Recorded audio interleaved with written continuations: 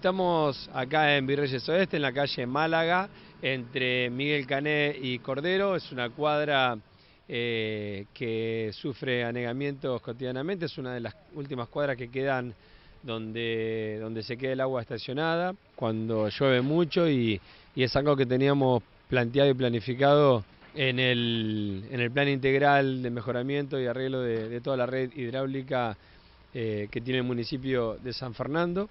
Y hoy estamos cambiando acá, o colocando, un nuevo conducto de caño de 800 para que el agua se vaya y fluya en el canal que tenemos acá debajo de, la calle Miguel Cané y es algo que bueno los vecinos nos venían pidiendo y que también lo teníamos planificado pero eh, teníamos muchas obras abiertas y que ahora empezamos acá y terminamos eh, este trabajo que va a mejorar la fluidez del agua como, como te decía y le va a mejorar eh, la calidad de vida al vecino ¿no? que, sufre cuando hay anegamientos. Así que estamos contentos porque yo creo que en una semana y media podemos estar terminando este trabajo.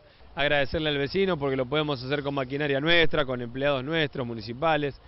Podemos ser mucho más rápidos y achicar los costos ¿no? de, eh, producción que si lo hace una empresa tercerizada sale mucho más. Así que todo eso nos permite tener rapidez y, gastar menos, ¿no? Gastar menos y, y cuidar más la plata de nuestros vecinos.